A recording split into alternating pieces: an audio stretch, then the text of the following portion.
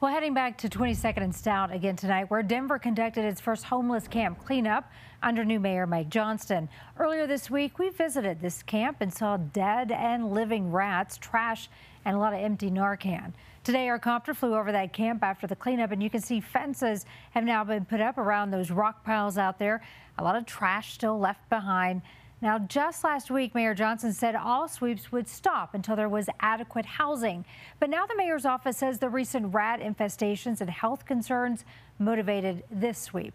Gabriella Vidal spoke with a community now searching for a safe place to sleep tonight. Gabriella. Yeah, Karen and the mayor's office told us this evening that there were several people from the city departments out there today helping with this cleanup process and also providing information on shelter options. But without permanent housing options available at this time in the city, those that were living on the streets that were forced to move say this just feels like a temporary solution to making them feel safer. That was really bad. That, um, I used to spray every day like like bleach and stuff. James Lee Lewis II recalls how awful it was sleeping next to rats that have piled up in the rocks along 22nd and Stout. I would be in my tent and, and they would be scratching around and, and I, I'd be jumping in there like ah. Friday morning, Lewis and dozens others experiencing homelessness were ordered to pack up and leave this part of the downtown area, now covered by fencing. It was a little bit different because we, we were like notified Usually you don't get that much not notice and you, you end up losing some stuff. But just like Lewis, those who were displaced had nowhere to go but setting up camp nearby.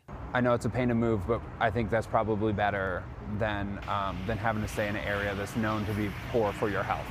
Ian Karsten is the owner of Randy's Recycled Cycles. While he says it would be ideal to have housing options immediately available before sweeps like this take place, he supports this measure if it protects the health of those living on the street while providing some relief for businesses where these encampments exist. Makes it a little easier maybe for that week or so to do some business for one business.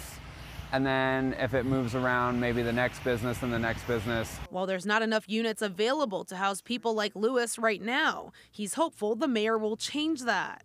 I think um, if, if he really puts some effort and thought into it, and networking with with um, people that that that, that want to see a change.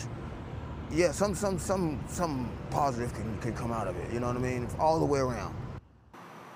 And in that same statement from the mayor's office, it says that Mayor Mike Johnston and the Emergency Operations Center are working daily to identify and find housing units by the end of this year. In Denver, I'm Gabriella Vidal covering Colorado First. Thank you, Gabby.